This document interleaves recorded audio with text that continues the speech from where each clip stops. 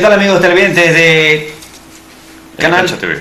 En la cancha TV Portero, muy buenas noches, estamos nuevamente listos para seguir compartiendo lo mejor de la información. Claro, por supuesto, las últimas novedades de la Copa Centenario América 2016 y mucho más. Fuerza Amarilla, algunas novedades y el resto de información que le tendremos en toda la hora de esta hora deportiva. Buenas noches, abogado Carlos Aguirre Galán. ¿Qué tal? ¿Cómo te va? Pues Byron, ¿qué tal, amigos televidentes? Aquí, como siempre, con abundantes noticias deportivas aquí al estilo de En la Cancha TV, ¿no? Usted dijo, uy, mi querido Byron Cuenca, pues eh, ya están los ocho equipos que van a disputar lo que es cuartos de final de la Copa América Centenario. Estamos, amigos televidentes, ya pues eh, en la cuenta regresiva del Max entre Ecuador y el equipo de Estados Unidos, pues mañana a las 20.30, ojo, 20.30 hora ecuatoriana, ¿no? Partido pues que eh, reviste mucha importancia a los intereses del fútbol ecuatoriano. Un partido que reanima emociones porque mañana a partir de las ocho y media el Ecuador se paralizará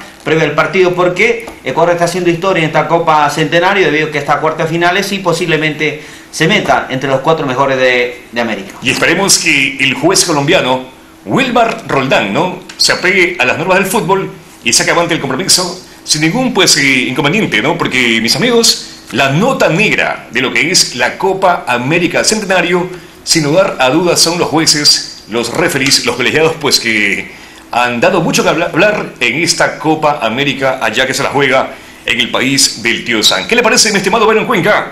Si vamos con lo que es el fútbol ecuatoriano, ¿no? El equipo de Deportivo Cuenca, el equipo cuencano, el equipo porlaco, el equipo de los camisetas coloradas, en fin. También le dicen el equipo de El Expreso Austral, es el ídolo suyo, mis amigos televidentes. Trabaja en Patamarca, pues el día sábado tiene un partido amistoso en Santo Domingo de los Áchilas para enfrentarse a Barcelona de Guayaquil, pues eh, y la tropa que dirige Aguinaga, pues ya está pensando en el reinicio del campeonato, pues para estar listo, a punto para medir la fuerza amarilla aquí en el estadio 9 de mayo de Machala.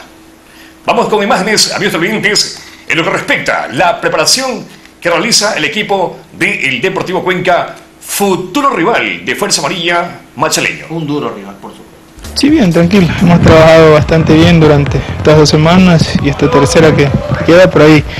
El equipo lo ha hecho bastante bien, el recondicionamiento, el recondicionamiento que hemos hecho.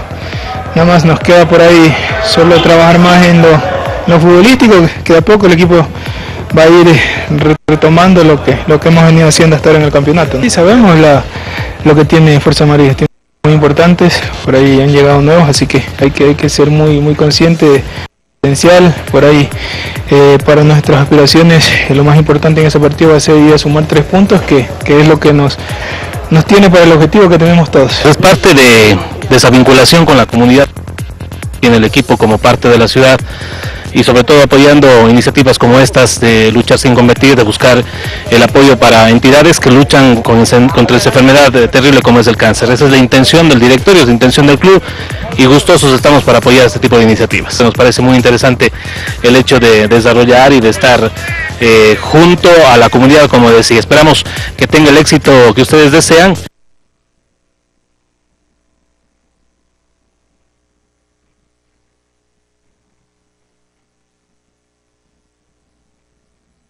El día sábado, repetimos, tiene un partido amistoso frente a Barcelona en el Estadio Olímpico de Santo Domingo de los Áchilas. Sí, exactamente. El director técnico Alex Aguinaga tiene que estar moviendo todas las piezas necesarias para el encuentro crucial que tiene ante el conjunto de Fuerza Amarilla.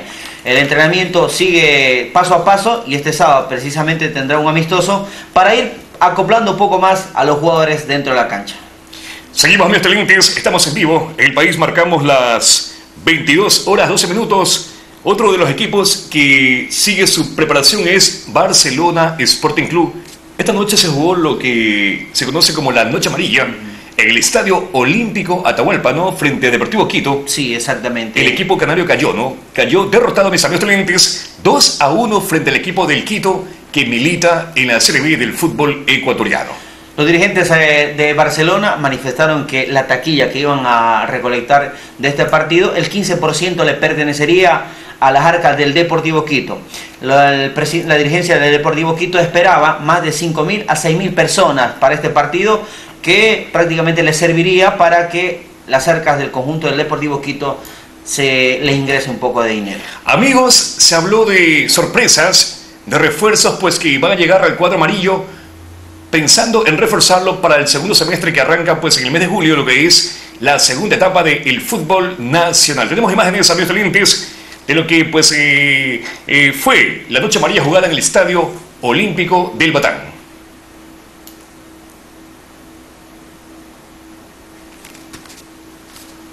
Bien, por acá seguimos, mis lentes. Estamos en vivo, mi estimado Byron Cuenca. Por acá déjeme saludar la sintonía del doctor Vinicio Pasos García, pues eh, observando el espacio deportivo es su domicilio allá por la granja del barrio, la, granja del Colegio 9 de Octubre de Machala, ¿no? Esto es eh, más o menos por el barrio Buenos Aires de la ciudad de Machala, ¿no? Exactamente. Le pregunto algo, este partido de Barcelona frente al Deportivo Quito, se hablaba mucho sobre las estrellas que posiblemente eh, podían llegar para este amistoso. Se habló primeramente de Juan Román Riquelme, después se mintió que en ningún momento había recibido tal pedido para hacer presencia en este partido.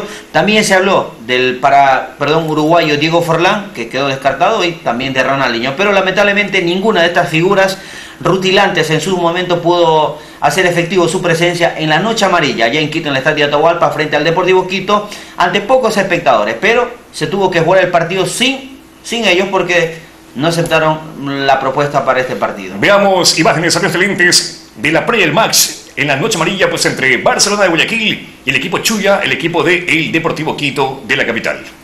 Barcelona viajó a Quito para disputar un partido amistoso frente a Deportivo Quito en la noche amarilla a jugarse desde las 19 horas en el Olímpico Atahualpa. El técnico Guillermo Almada se refirió a la posible llegada del delantero ecuatoriano Marcos Caicedo a Filas Canarias. Cada jugador que llega a Barcelona este, eh, está bajo nuestro pedido, nuestro análisis con los, junto con los dirigentes. ¿Lo conocía como futbolista o no? ¿A quién? A Marco Caicedo. Sí, sí, conocer tenemos que estar informados de todos los jugadores que, que obviamente están en el exterior y que sean posibles refuerzos. El volante Osvaldo Minda resalta los trabajos efectuados durante el receso del campeonato. Alrededor de 11 días, 12 días, en tres turnos diarios prácticamente y eh, obviamente que eso no- nos ha servido para, para poder eh, reacondicionar nuevamente la parte física y poder eh, eh, hacer un buen remate de esta primera etapa. Por su lado, el brasileño Gabriel Márquez, que tiene contrato hasta fines del presente mes, afirma que aún no ha tenido acercamientos con la dirigencia para su renovación. Estoy contento acá y quiero seguir en, en Barcelona. ¿De qué va a depender la continuidad suya acá con Barcelona? No, no, estoy, estoy esperando todavía una propuesta y, y después vamos a analizar junto con el empresario mío y seguramente eh, no hay ningún problema porque yo las ganas que tengo de seguir. Ante los Chuyas, Barcelona saldría con Lance en el arco, Velasco, Aymar, Márquez y Ruz Beloyola en defensa, Matías Soyola, Minda, Esterilla y Washington Ver en el medio campo, y en delantera Damián Díaz junto a Jonathan Alves.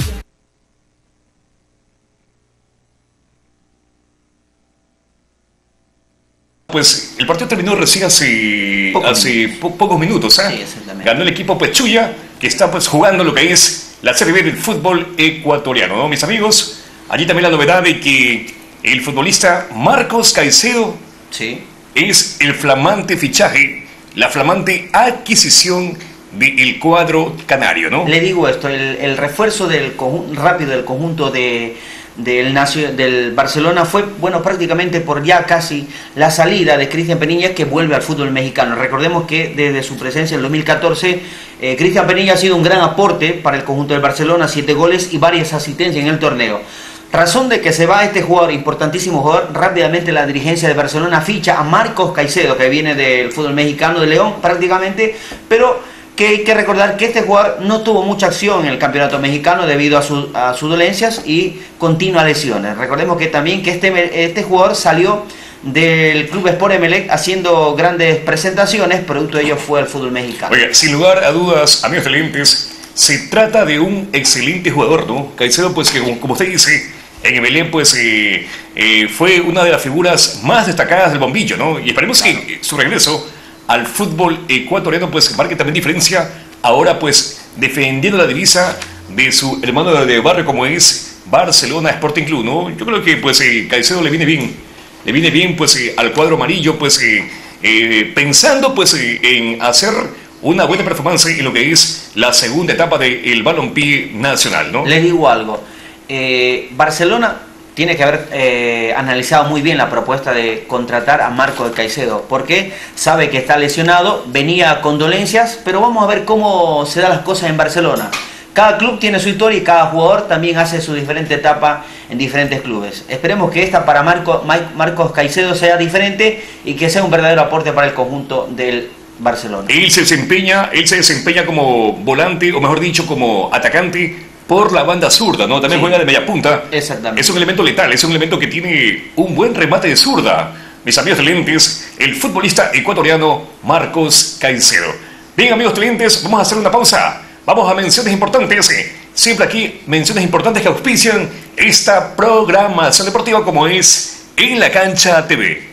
Claro, por supuesto, si usted quiere viajar, pues hay una sola forma de viajar en este país y obviamente en la provincia de Lora. Ecuatoriano Pullman ofrece lo mejor, los mejores comunidades para que usted pueda viajar alrededor del mundo entero. Ofrece Ecuatoriano Pullman, primeramente, unidades nuevas, aire acondicionado, servicio de wifi, asientos, ultra cómodos. Exactamente, todo lo que usted imagina para viajar lo puede hacer y lo puede encontrar en Ecuatoriano. La ruta, mis amigos clientes, la ruta Macha.